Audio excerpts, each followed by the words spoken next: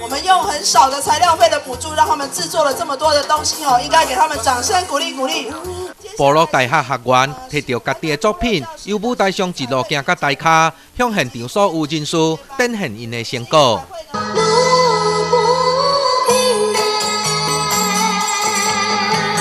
各种丰富精彩歌舞，嘛是因伫部落大学中所学来。老师教我们教的啊，很好啊，很很热闹，有跳舞也有啊，很好。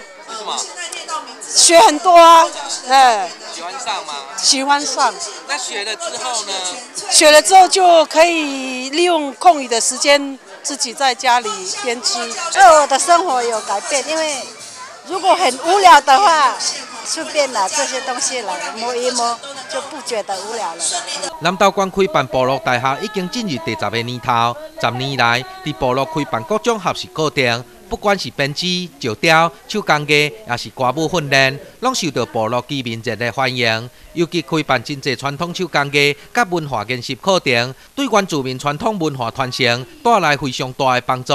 即将要啊失传的一些技艺啊跟歌谣，在部落大学里面逐渐的被发掘。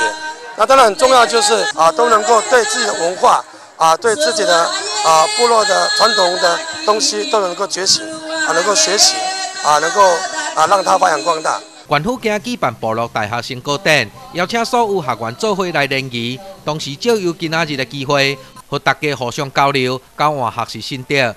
管府原民局表示，部落大学开办十年，课程由单纯的学习慢慢转向以融入部落产业为目标，希望借由开办部落大学来带动部落社区营造。希望能够跟我们的社区大学一样，是一个推广教育的，让部落里边都可以有学习的一个机制跟管道哦，甚至呢跟部落特色产业的部分来去做连接哦。我们希望说部落大学呢也能够有一些师资，有一些方式去投入部落里边来协助他们哦，来去做部落的推动或者是营造工作的话呢，我想对外面的观光客也好，对部落里面的发展也好，都是一个比较正面的一个这个呃一个正面的一个方向哦。今仔日的成果展有歌舞节目。表演有学员作品走秀演出，嘛颁发结业证书，和每一位学员。管府表示，每年部落大学进入第十一年，将加强部落产业营销推广以及营造研习课程，希望未来部落大学成为推动部落发展的助力。记者王昭成采访报道。